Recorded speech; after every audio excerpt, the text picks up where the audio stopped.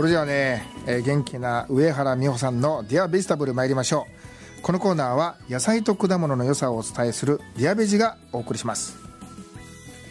はい今日も野菜ソムリエの上原美穂さんにスタジオにおいでていただきました。上原さんおはようございます、はい、おはようございます。よろしくお願いします。よろしくお願いします。上原さん今日ははい。おひな祭りですね。そうですね、3月3日です3ね。日ですね。はい。ということで、はい。あの一つ質問が来たので、はい。お答えいただけますか、はい。えーラジオネーム、はい。ちえたんママさんより。はい。今日はひな祭り。我が家もちらし寿司を作る予定です。絹さやの茹でる時間。これは何分くらいがベストなのでしょうか、はい。教えてください。ということなんですけども。はい、ありがとうございます。そうですね、今日はね、ひな祭りなので、はい。あのーちらし寿司を作ってね、上に緑でね、絹さやをあの置かれる方が多いと思うんですけれども、絹さやに、まあ、限らずね、緑のお野菜って、割と茹で時間とね、それからによって、その色合いとか、あとそれから歯ごたえはいがね、あの悪くなったりねしてしまうんですね。なかなかあのうまく湯がくのは難しいあのじゃないかなと思うんですね。はい、えーちょっと難しいことを言いますと、はい青いお野菜。例えば、まあ、絹さやもそうですけど、うんほうれん草とかええ小松菜とか、それからブロッコリーとかね、えー菜の花とかこういったものもありますけれども、えーこの青いお野菜青い葉っぱのお野菜っていうのはですね、えーまあ、青い色素緑の色素ねこれはねあの小学校の時にも習ったと思うんですけど葉緑素っていうものなんです。ああはいはいはるか昔に聞いたことあります わかります？はい、葉緑素なんですけど、葉緑素がね、えーまあこれクロロフィルっていうんですけどね、えーこれがですね、えーまあ熱加熱によってですね、えー他のもののあに他の物質にですね変化してしまうんですね。はいうん、でその変化が、えーまああのー茶色い色になってしまう原因なんです。はい、えーまあ、50度ぐらいのお湯でねあのに熱にさらされると、えー通常その葉緑素クロロフィルっていうのはあの細胞の中に閉じ込められているんですけれどもその細胞壁まあ、これが野菜でいうと食物繊維なんですけどこの細胞壁が壊れて、えー中に、えー酸があるんです。はい。その酸にそのクロロフィルがさらされることによって、えークロロフィルの中心のマグネシウムが水素と、えー入れ替わってですね茶色い色になってしまうんです。あそれで茶色になるということそうなんです。です他のねもう物質に変わってしまうんですね、はい、クロロフィルではなく、まあ、難し難しいことを言うとフェオフィチンというものに変わるんですね、うん、だから、えー緑色がちょっとくすんだような色とかあと茶色に、ね、あのなってしまうんですね、はい、で、えーこれを緑色のままで、はい。ね、したいっていうのがやっぱり、えーとね。あのお問い合わせなんですけれども、えーとするには、えーまずこの酸にさらされる時間を短くすること。これが一番なんです。はい。はい。えーそれともう一つは、えー湯がく茹でるお水この水溶液を、えーアルカリ性にするっていうことも必要なんです。あもう鍋に入れる実体からそうそうそうそう、まあ、アルカリ性だとこれまたねあの小学校の時になり習いましたよね。酸性とかアルカリ性とか。ねやりましたね、はい。あのやりましたね。あのリトマス試験してね。そうそうそうですね。なので、えーこれがアルカリ性だと酸性にさらされにくくなる。でまたねこのさらす時間を、えー少なくしてやる。これ両方ともを一つのことで叶えることができる。あなんでしょ昔からやってること。ううんうん。お鍋にお水を入れてプラス何を入れますか？お塩ですか？そうなんです。お塩を入れるんです。でお塩を入れるとこれお塩をあの入れると水溶液はアルカリ性になります。はいプラス、えーお水の時は沸点は100度ですが、えーお塩を入れたことによって少し高くなるんですね。うんなので高い、えー温度でさっと湯がくことができるんです。だからお塩を入れることはあのー理にかなっているということなんですね。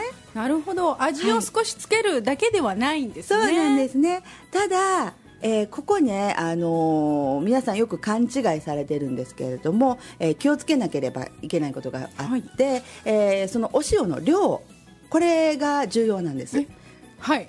例えばそうですねお家で湯がくて1リットルぐらいでしょうかね。1リットルぐらいのお水。土井さんどれぐらい入れられますか？来るかなと今思ってたんですけども。あの我が家では、はい。本当に目分量です。目分量でちょっとつまむぐらい。そうですそうですね。あのこれね、えーまあ、いろんな料理本を見てもらったら分かるんですけど大体青菜をきれいに湯がくために、えー入れるおみあのお塩の量っていうのは、えーお水の1%から2%なんです。はい。1リットルのお水だっただらとすると？10g から 20g なんです。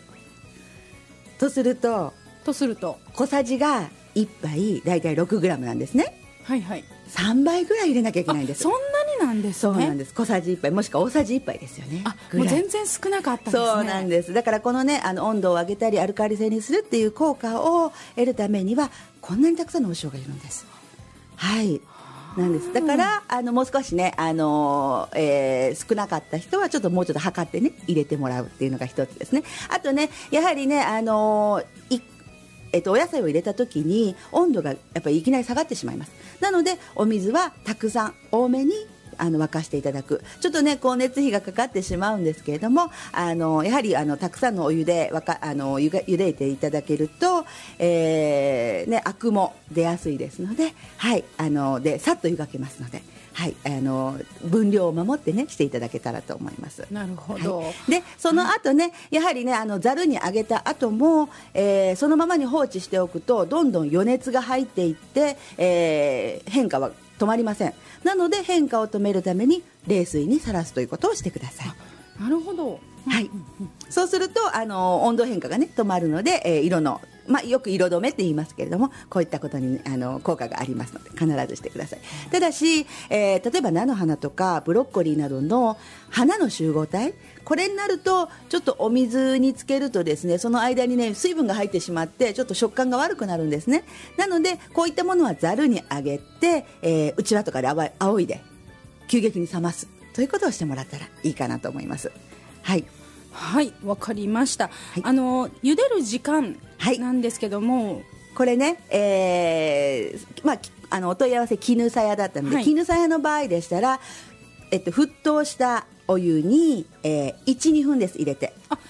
そのぐらいでいいんですね、はいそうです。もう本当に12分です。入れて12分だったらえーざる、にあげて冷水に浸して、えーすぐ揚げるという。はい、ことをしていただくと色も綺麗だしそれから歯ごたえもシャキッとしてきます。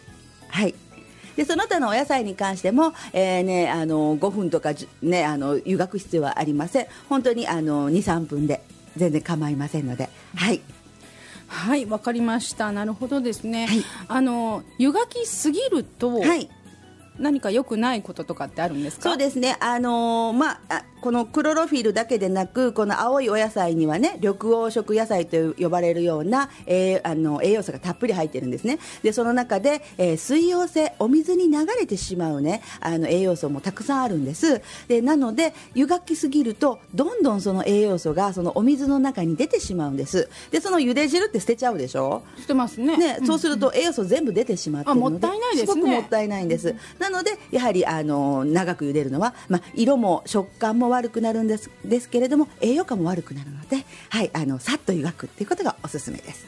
はないる、ほど。はいわかりました。あの今日はねあのちらし寿司とはいいうことでお問い合わせがあったんですけども、このちらし寿司は、はい地域によってやはり入れるものは変わってくるんですかね？そうですね。あのちらし寿司は、まあ、あのこの辺りではばら寿司って呼んだりもね、はい。するかなと思うんですけどもそれぞれ地域によってやはり入れるもの違ってお隣の岡山県の方ではねちょっとまママカリを入れたりねあとキニラを入れたりねキニラねね。美味しいですね。はい。っていうこともありますので、えーまたねよその地方に行かれたらそこのちらし寿司とかをね召し上がってあこんなもん入ってるんだってね思っていただくのもいいかなと思いますね。ですね、はい。よそ行くとねちょっと変わったものが。そうですね。あとちょっと季節によってもね今の時期だったら菜の花とかねそういったものを使われるけれども、あの例えばこれが夏場だったら違ってたりねするのかなと思い思います。はいはいわかりましたいろいろねあのブログなどでもいろいろはい発信もされてるんですよね、はい、えーっとお野菜果物の魅力をあの発信するブログを続けておりますので、えーよろしかったらそちらもご覧いただけたらと思います。はい、ありがとうございます。今日も野菜ソムリエの上原美穂さんにお話を伺いました。上原さん、ありがとうございました。ありがとうございました。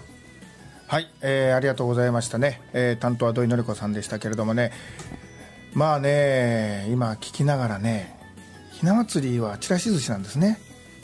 そこからいきますか？ああいやいや昨日ね僕ねあのおじさんたちとちょっと勉強会をして今いつも行くお店でね、はいはい。そこのお母さんがあの手料理を出してくれるんですよね、で昨日ちらし寿司が出たんですよ。でもねおじさん連中は全然そんなこと気づかず悲しい。多分ねすごいねこの細やかな心でねそうだと思いひなますよ。祭りだからね、ちらし寿司をぜひ殿方に食べさせてあげようと思って出したんでしょうけど誰も気づかない。ああ悲しい。悲しいお話でございました。上原美穂の「ディアベジタブル」このコーナーは野菜と果物の良さをお伝えする「ディアベジ」がお送りしました。